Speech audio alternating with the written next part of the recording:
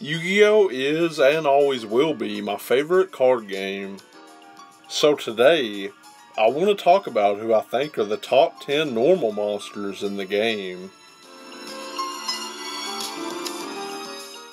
The Celtic Guardian has an attacking strength of 1400, and his defense power is 1200. His card description explains that he is an elf who learned to wield a sword and that he baffles enemies with lightning swift attacks.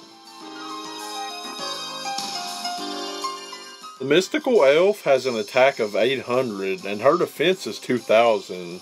This spellcaster's description states that she is a delicate elf that lacks offense but has a terrific defense backed by mystical power. The Beast Warrior Garoozis has an attack power of 1800 and its defense is only 1500. He is an axe swinging warrior with the head of a dragon. Often used by Joey throughout the series, he was one of the main monsters.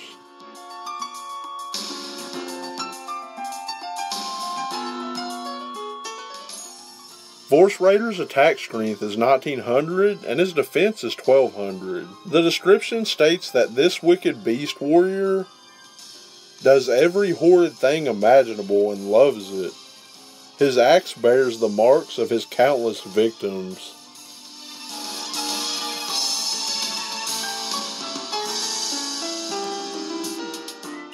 Gaia the Fierce Knight's attack power is 2300 and his defense is 2100. So he was definitely one of the most powerful monsters in the beginning of the show.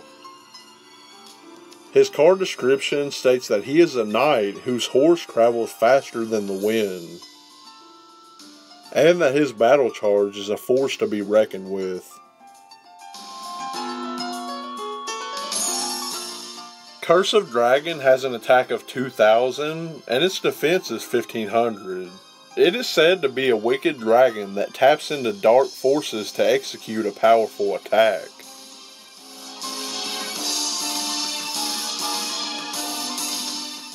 Summon Skull has an attack power of 2500 and defense power of 1200.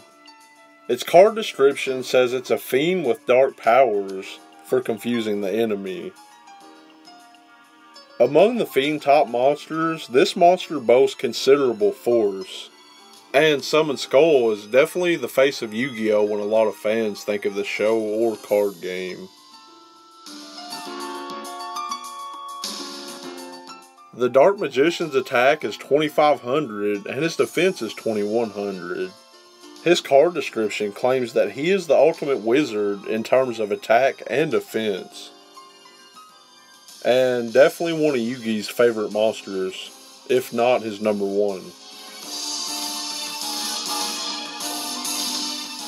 The Red Eyes Black Dragon's attack is 2400 and its defense is 2000. The description states that it is a ferocious dragon with a deadly attack. Joey always used Red Eyes throughout the show, and he was definitely a big deal throughout most episodes.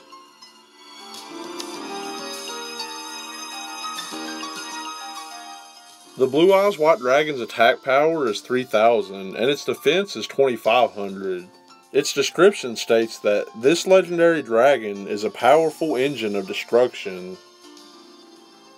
Virtually invincible, very few have faced this awesome creature and lived to tell the tale. Kaiba always liked to use Blue Eyes throughout the show, and it was definitely his main monster.